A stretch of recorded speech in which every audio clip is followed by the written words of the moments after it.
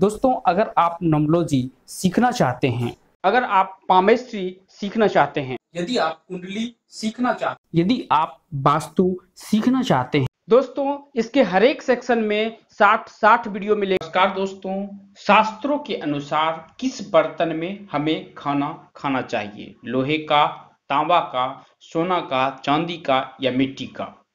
दोस्तों, आज के ज़माने में घर में प्लास्टिक का भी बर्तन बहुत अच्छे तरह से यूज़ किया जाता है अधिकांश घरों में। तो आज हम बर्तनों के बारे में बात करेंगे कि किस बर्तन में खाने से क्या क्या लाभ हो सकता है। अगर लोहे की बर्तन अगर आप घर में यूज़ करते हैं, चाहे वो थाली हो, ग्लास हो, अगर आप उसे यूज़ करते हैं तो इससे कोई हानि नहीं होता है। इससे आपके शरीर की जो पाचन तंत्र है, वो भी सही होता है। दूसरा चीज़ है कि अगर चांदी या सोने, सोना का तो आज के डेट में थोड़ा महँगा है बट चांदी, सोने के बर्तन में अगर भोजन करते हैं तो इससे शरीर मज़बूत होता है। ये शास्त्रों में बताया गया है, पुष्ट रहता, हिष्ट पुष्ट रहता है वो वो आदमी। बट अगर चांदी चांदी अगर किसी भी जातक के कुंडली में अगर चंद्रमा अगर बहुत कमज़ोर है, चंद्रमा मन शांत नहीं रहता है, या उसे धन की इच्छा है, अगर शुक्र भी अगर कमज़ोर है शुक्र अस्त है, अगर बुरा प्रभाव दे रहा है उसके कुंडली में तो चांदी के बर्तन में खाना बहुत उत्तम बताया गया है। इससे शरीर भी सही रहता है और इससे वो दोष जो कुंडली में शुक्र के द्वारा बताया गया है या शुक्र के द्वारा वो जो प्रॉब्लम क्रिएट हो रहा है, वो बहुत हद तक कम हो जाएगा। आगे हम बात करते हैं कांसे की बर्तन। दोस्तों, कांसे की बर्तन में भोजन करना, तांबे की बर्तन में भोजन करना बहुत अच्छा है बट अगर नहीं कर पाते हैं तो हम आपको एक सजेशन देंगे कि आप जब रात में सोते हैं तो आप एक कांसे की या तांबे के बर्तन में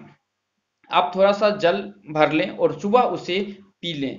ये शरीर के लिए बहुत अच्छा होता है और इससे कुंडली दोष यानी कि जो राहु केतु की प्रॉब्लम्स होती है। देखिए केतु की जो महादशा होती है उसमें प्रॉब्लम आदमी को बहुत होता है। वो स्ट्रगल का होता है। क्योंकि केतु जो है वो आदमी को स्ट्रगल देता है जो बहुत कुछ आदमी को सिखाता भी है। अगर वो महादशा किसी के जातक में आ, में आ गया अगर दो चार साल पाँच साल के अंतराल में तो वहाँ से जो वो सीखेगा, उसके बाद जो भी महादशा आएगा, उसमें वो बच अच्छा ही करेगा। तो केतु की महादशा जो बुरा प्रभाव संघर्ष दिलाता है, उसमें कम, कमी आ सकता है। उसके बाद बात करते हैं मट्टी के बर्तन। यानी कि मिट्टी के बर्तन में भोजन करना, ये बहुत अच्छा है। पहले जमाना में मिट्टी का बर्तन में ही भोजन बनाया जाता है। अभी भी हम थोड़े देर पहले बुक पढ़ रहे थे तो उसमें लिखा हुआ था कि 25 मिनट में दाल उसमें गलती है। पहले जो बनाते थे, उसमें 25 मिनट में दाल उसमें गलती है। तो आप समझ लीजिए कि आप मिट्टी के बर्तन में खाना चढ़ाकर आप घर के बहुत से काम कर भी सकते हैं और उसके बर्तन में भोजन करने से ये बहुत अच्छा प्रभाव शरीर पे भी पड़ता है और कुंडली के पितृदोष जो होता है, वो कम होता है। इससे ज़्यादा कुछ बताया हुआ नहीं था।